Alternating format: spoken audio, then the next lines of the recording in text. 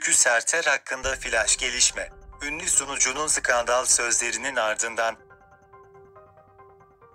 Akdeniz ve Ege'de yazın yaşanan yangın felaketi sırasında sosyal medya üzerinden Tarım ve Orman Bakanı Bekir Pakdemirli'ye yönelik sümsük ifadeleriyle hakaret içerikli sözler sarf eden ünlü sunucu Öykü Serter hakkında dava açıldı. İfadesinde Pakdemirli'ye yönelik paylaşımı eleştiri amacıyla yaptığını öne süren ünlü sunucunun 2.5 yıla kadar hapsi isteniyor.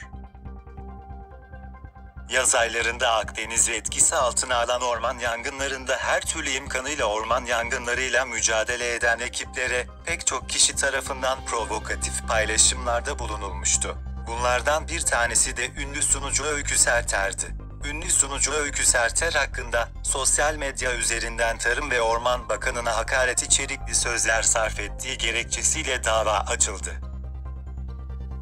Ünlü sunucu Öykü Serter, 2 Ağustos günü sosyal medya üzerinden Tarım ve Orman Bakanı Bekir Pakdemirli'ye hitaben bir mesaj paylaştı. Mesajda, alınacak paralara uçak kiralıyor. THT uçaklarını çürütüyor. Bir de ağzını yaya yaya yalan söylüyor filonun kralı bizde diye. Şimdi de belediyelerin sorumluluğu dedi çekildiği mi? Sen ne demeye koltuk işgal ediyorsun o zaman? İstifa et, git artistliğin evinde yap sümsük sözlerini kullandı.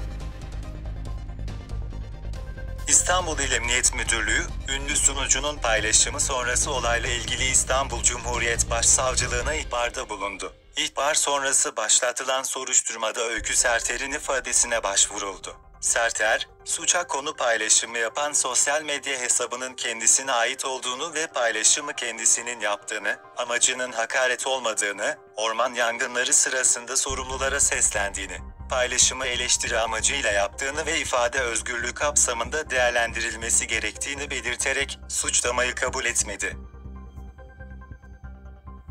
Savcılık Serter hakkında yürütülen soruşturmayı tamamladı. Savcılık, ünlü sunucunun kamu görevlisi olan Bakan Pakdemirli'nin onur, şeref ve saygınlığını rencide edecek nitelikteki sözlerle sosyal medya üzerinden aleni şekilde hakaret ettiği ileri sürülerek dava açtı.